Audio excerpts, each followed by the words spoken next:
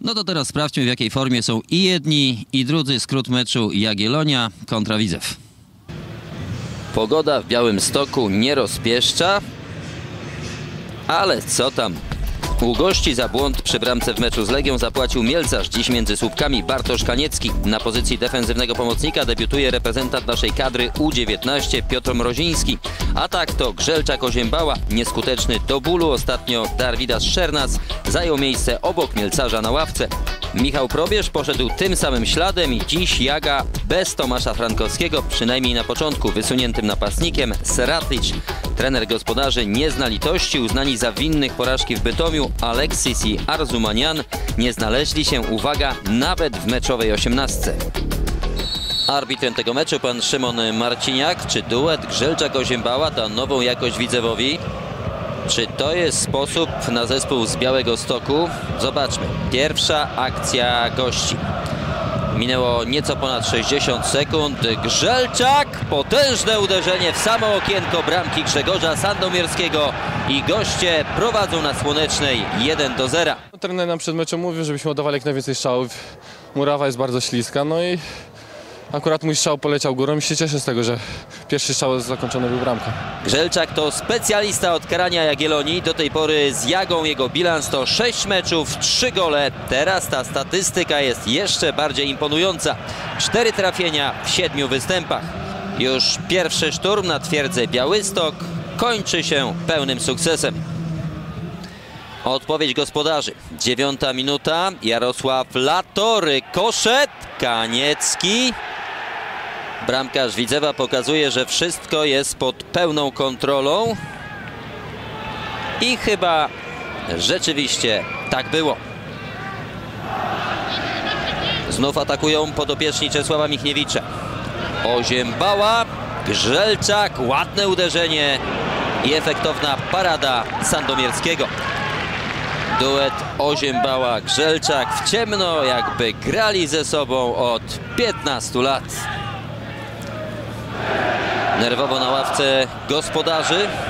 Może Grzelczak zastąpić Szernasa. To może i Seratlicz Frankowskiego. To 22 minuta meczu. Napastnik z Bałkanów pakuje piłkę do siatki, ale oczywiście o golu nie może być mowy. Powód? Ermin Seratlicz był na takim spalonym. Kontuzja Szymanka, naderwany mięsień czworogłowy. Na boisku pojawia się Szernas. Łukasz Broś idzie do obrony, Osiębała do drugiej linii, a atak Widzewa już w składzie Szernas Grzelak. 25 minuta, Grzyb decyduje się na strzał z dystansu nad poprzeczką bramki Widzewa. Kilka chwil później podobnej sztuki próbuje Tiago Cionek.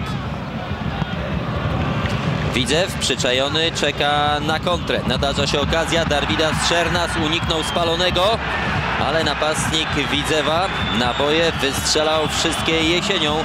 Wiosną zostały mu chyba tylko same ślepaki. Świetna interwencja Sandomierskiego, po niej rzut rożny dla gości. Chwila konsternacji, gwizdek i rzut karny. Ręką zagrywał w szesnastce Tadas Kijanskas.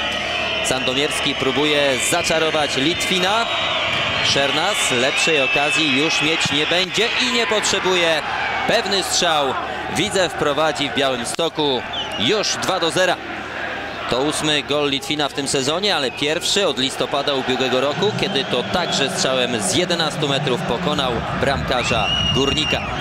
Jak widać technika kierowania drużyną podobna na obu ławkach.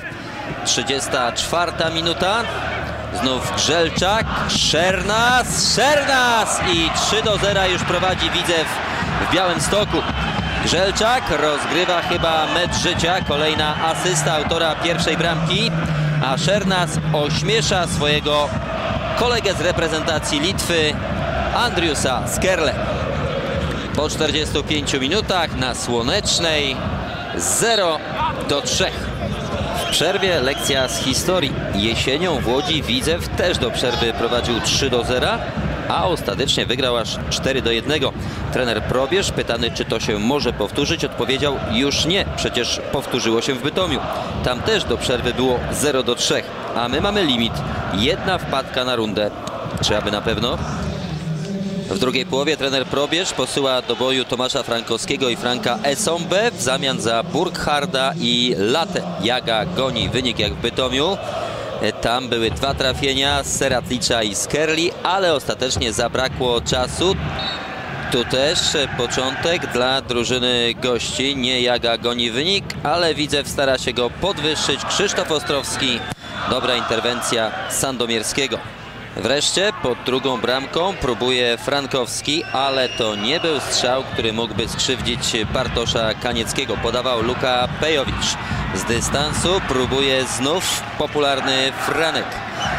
Stara się dać impuls Jagiellonii i poszukać swojego 11 gola w sezonie. Rezerwowy Nakulma z Widzewa zatańczył w polu karnym, wyłożył piłkę Ostrowskiemu. Wydawało się, że idealnie, ale pomocnik gości chybił.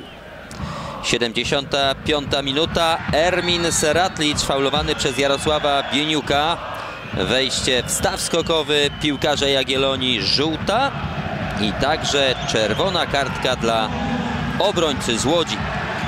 Pierwszą żółtą kartkę Bieniuk dostał na początku drugiej połowy za faul na Kupiszu. Czesław Michniewicz idzie do szatni. Wydawało nam się, że po raz drugi w sezonie wyrzucił go na trybuny Szymon Marciniak, ale jak sprawdziliśmy u źródeł, trener Widzewa nie wytrzymał nerwowo i sam zszedł z posterunku. Jagiellonia jeszcze próbowała. Najaktywniejszy był Kupisz. Próbował strzałów z dystansu. Tutaj zabrakło mu nogi, by wpakować piłkę do siatki po dośrodkowaniu z prawej strony. W 90 minucie było wciąż 0 do 3. Wreszcie doliczony czas gry Makuszewski, Frankowski.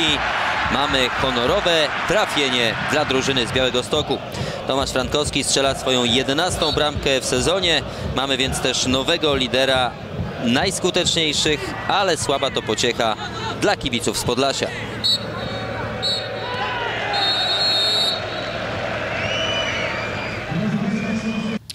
Widzew wygrywa w Białymstoku z Jagiellonią 3 do 1. Ten sam Widzew, który w poprzedniej kolejce w meczu na Łazienkowskiej z Legią nie oddał ani jednego celnego strzału na bramkę rywala i bądź tu mądry, ale taka to w tym sezonie jest nasza liga. A Jagiellonia, mówiono o tym, że jest w dołku, to już chyba nie w dołku, ale w leju po bombie. Co jeszcze mogę dodać? No chyba to, że całą naszą opowieść o niezdobytej twierdzy Białystok, od której zaczęliśmy to łączenie, można już oczywiście między bajki włożyć. A tę piękną, nie bajkę, ale rzeczywistość opowiedział nam Cezary Olbrycht.